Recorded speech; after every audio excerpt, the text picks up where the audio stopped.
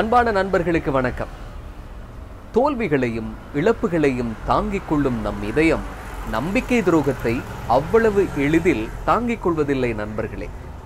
நம்பிக்கை துரோகம் நமக்குள்ளே ஏற்படுத்துகிற காயங்கள் வருத்தங்களில் இருந்து மீண்டு வருவதற்கு நல்ல சிந்தனைகளை இந்த வீடியோ பதிவில் உங்களோடு பகிர்ந்து கொள்ள நான் ஆசைப்படுகிறேன். என்னுடைய நண்பர் ஒருவர் இந்த உலகத்திலே இனிமேல் நான் யாரையும் நம்ப மாட்டேன் என்றார்.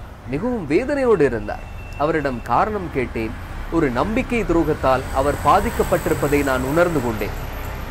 நம்பிக்கை துரோகம் அவருக்குள்ளே பெரிய ஒரு காயத்தை ஏற்படுத்தி இருந்தது அவர் மிகவும் வேதனையோடு இருந்தார்.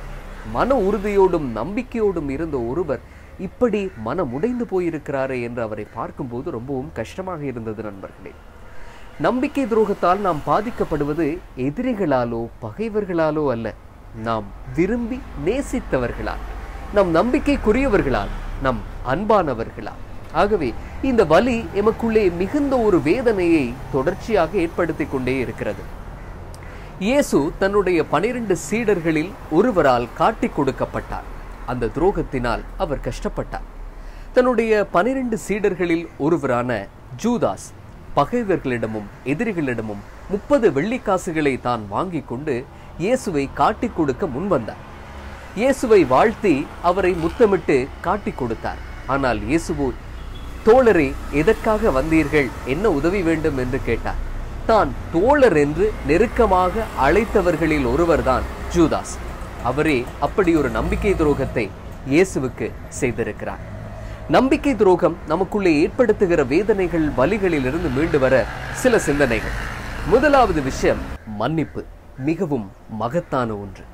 நம்பிக்கை துரோகம் இழைக்கப்பட்டவர்கள் உடனடியாக மன்னிப்பதற்கு முன்வருவதில்லை. காரணம் அந்த வேதனையும் வருத்தமும் வார்த்தைகளால் கூட வர்ணிக்க முடியாத அளவுக்கு ஒரு வேதனையை கொடுத்திருக்கக்கூடும். நாம் மன்னித்து விடுவதன் மூலமாக அவர்களுடைய தவறுகளை ஏற்றுக்கொண்டோம் என்று பொருள் அல்ல நண்பர்களே. நாம் மன்னிப்பதன் மூலமாக நமது வேதனையிலிருந்து விடுபட நாம் ஒரு வழியை தேடிக்கொண்டோம். மன்னிப்பு அவ்வளவு மகத்தானது. இறைவன் நமக்கு கொடுத்த மிகப்பெரிய ஒரு மகத்தான ஒரு விஷயம்தான் அது. இயேசுநாதர் தந்தையே அவர்களை மன்னியும். அவர்கள் அறியாமையில் இப்படி செய்கிறார்கள் என்று பிரார்த்தனை செய்தபடியே இருப்பார். உலகத்துக்கே அன்பையும் மன்னிப்பு பற்றியும் போதித்தவர் அவர்.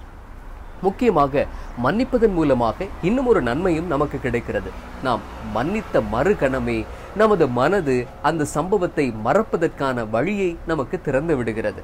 மன்னிக்காதவரை என்றுமே அது ஒரு வடுவாக நமது மனதுக்குள்ளே இருந்து கொண்டே இருக்கும் நண்பர்களே. ஆகவே மன்னித்தோம் என்றால் அது நிச்சயம் நமக்கு நன்மையாக இருக்கும். இரண்டாவது விஷயம் நண்பர்களே நாம் ஏன் வருத்தப்பட வேண்டும்? துரோகம் இழைத்தவர் அவர்.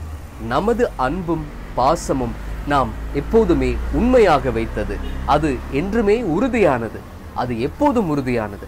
அவர் நம்பிக்கை துரோகம் செய்துவிட்டார் என்பதற்காக என்னுடைய அன்பும் பாசமும் எப்போதும் பொய்யாகிவிடாது. ஆகவே நம்முடைய நிலையில் நாம் எப்போதும் உறுதியாகவும் நிலையாகவும் இருக்க வேண்டும் நண்பர்களே. அவர் எனக்கு அப்படி செய்துவிட்டார் என்பதற்காக நான் என்னுடைய அன்பையும் பாசத்தையும் பொய்யாக்கி கொள்ள போவதில்லை என்று நாம் முடிவெடுத்து விடுவோம். அடுத்த விஷயம். அவர்களுக்கு ஒரு சந்தர்ப்பத்தை கொடுப்போம். அவர்கள் திரு தன்னுடைய தவறுகளை திருத்திக் கொள்வதற்கு நாம் மீண்டும் ஏமாறுவதற்கு அல்ல. நாம் நம்பிக்கை துரோகத்துக்கு ஆளாகி இருப்பது நம்முடைய அன்பான ஒருவரின் மூலமாக. ஆகவே அவர் ஏதோ ஒரு சந்தர்ப்ப சூழ்நிலையினால் இந்த மாதிரி நடந்திருக்கக்கூடும். சில சமயம் அறியாமையினால் கூட. அந்த காரணங்கள் நமக்கு உடனடியாக புரியாமல் இருக்கக்கூடும்.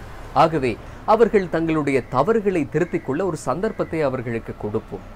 அவர்களுக்குள்ளே இருக்கக்கூடிய சிறந்த மனிதரை வெளிக்கொண்டு வர நாம் உதவி செய்வோம். ஏனென்றால் நாம் உண்மையான அன்பையும் பாசத்தையும் அவர்கள் மீது கொண்டிருக்கிறோம் இல்லையா நண்பர்களே?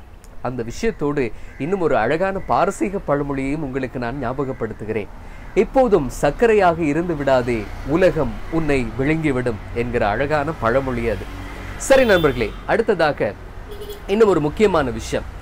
நமக்கு நம்பிக்கை துரோகம் இழைத்து விட்டார்கள் அல்லது நமக்கு ஏதேனும் தீங்கு இழைத்து விட்டார்கள் என்பதற்காக நாம் யாருக்கும் நம்பிக்கை துரோகம் செய்துவிடக்கூடாது மறந்தும் கூட. ஏனென்றால் நம்பிக்கை துரோகத்தினுடைய பலியும் வேதனையும் எப்படி இருக்கும் என்பதை நாம் நன்கு உணர்ந்திருக்கிறோம். நமக்கு யாரோ நம்பிக்கை துரோகம் இழைத்து விட்டார்கள் என்பதற்காக இனிமேல் நான் யாரையும் நம்ப மாட்டேன் என்கிற ஒரு மனநிலை மிகவும் ஆபத்தான ஒன்று நண்பர்களே.